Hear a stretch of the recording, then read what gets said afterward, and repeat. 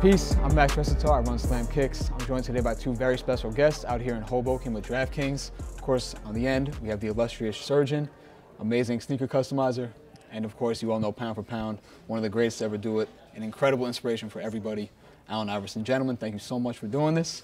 I want to start with you on the end, Dom. Yeah. Please just walk us. us through this inspired uh, question mid Club C85 silhouette that you created. Yeah, I mean, we wanted to do uh, something that represented uh, AI and also do something that everyone can wear in a lifestyle kind of form. I remember I stopped playing basketball in high school, and once that happened, like all my homies were wearing Iversons, and I never got to wear the Iversons because I wasn't a ball player anymore. So this was something to kind of nod to that, where you know you can wear it, but it still has the, you know, the nod to the original OG Iverson.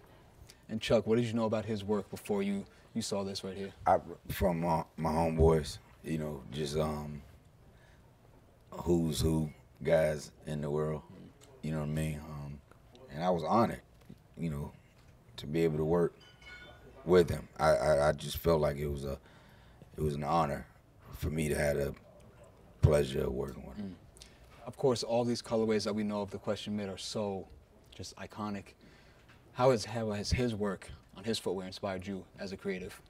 I mean, from the footwork, the the footwear to just the style that you know you you had in the game, it it, it showed the world at a at a time before social media, before tunnel walks, that he was already creating that. So to like bring fashion through the sport um, and the culture before it even happened, you know, it, it helped me as a uh, kid you know, find my passion for fashion and dressing up and, and always, you know, just wanting to, to, to be myself by dressing up. I mean, I got best dressed in high school, you know, so. And of course, your work with DraftKings continues to elevate. Why are they a perfect partner to continue to elevate this work? Yeah, I think they just they get it and they understand that they, that you know we got to push push the limits and, and do things differently and you know, it starts for me just not just with shoes. You know, it's it's everything. So um, it's been a they've been a good partner to work with. Mm. Very famously, you've told the story many times about the first time you saw a kid out in the world wearing the question mids. Everyone in here would have a story like that. What I'm curious about is the last time, the most recent time, you saw someone out in the wild wearing some question mids.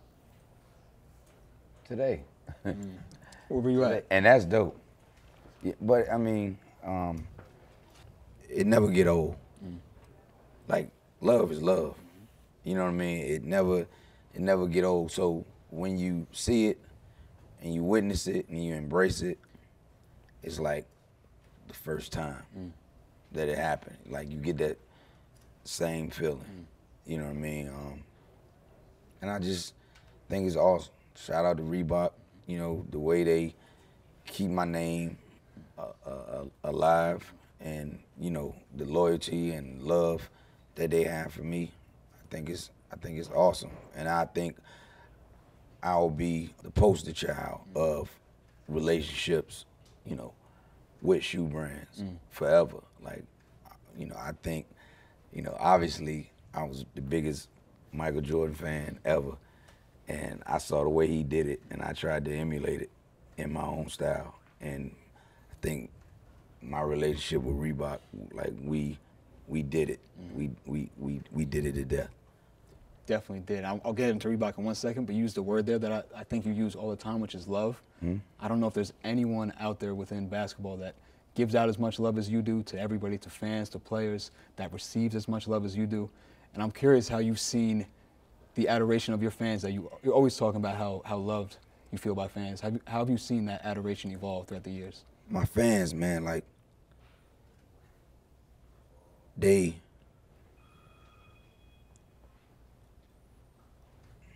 my flaws, who I am, the ups and downs in my life.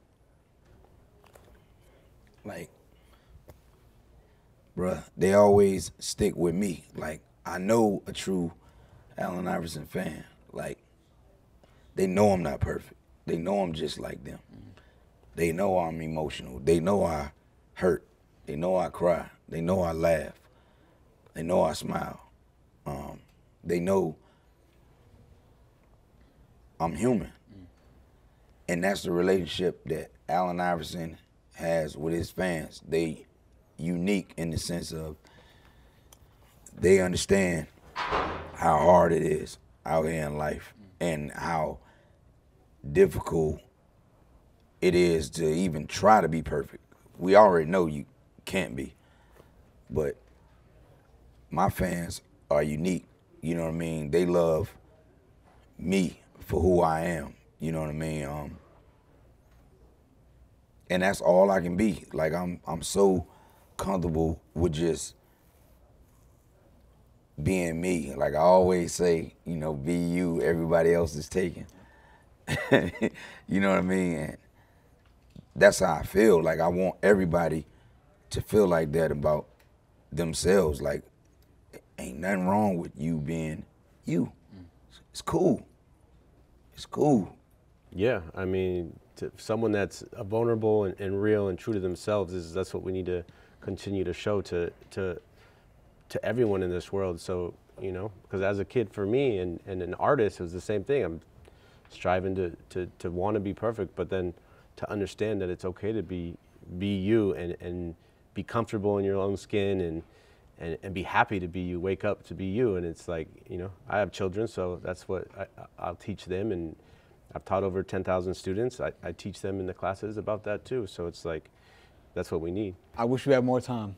But gentlemen, thank you so much. There's so many more stories to get into. I know that, but I appreciate you very much. Thank, Thank you you. guys.